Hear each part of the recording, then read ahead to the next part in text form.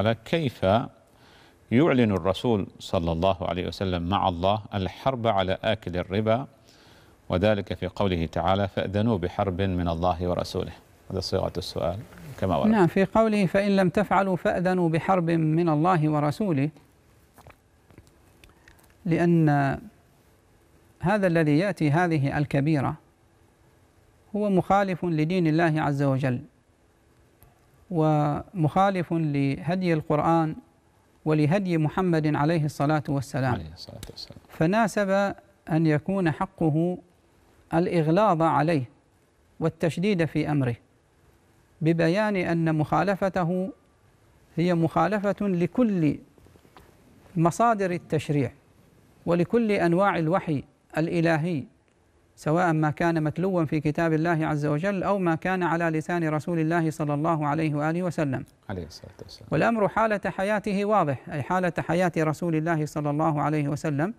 فالأمر بالإيذان بالحرب حالة حياته واضح لأنه حي والأمر بعد وفاته عليه الصلاة والسلام كما تقدم هو من باب الإغلاظ والتشديد والإنكار عليه وأنه لا وجه لما أتاه وأنه معاد بذلك. لله تبارك وتعالى ولنبيه محمد صلى الله عليه وآله وسلم وللمسلمين من من بعد. فهذا هو معنى الإيذان بالحرب وأن هذه الحرب هي مع الله ومع رسوله. فلأضرب مثالا بذلك.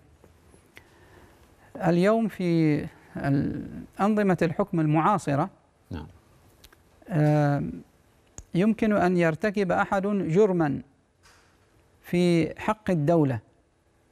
فيقال بأنه خالف نظام الدولة وعاد الدولة وحاكمها ونظامها. نعم. الآن ما دخل الحاكم في هذا الشأن؟ لأنه هو رمز لهذه الدولة. نعم.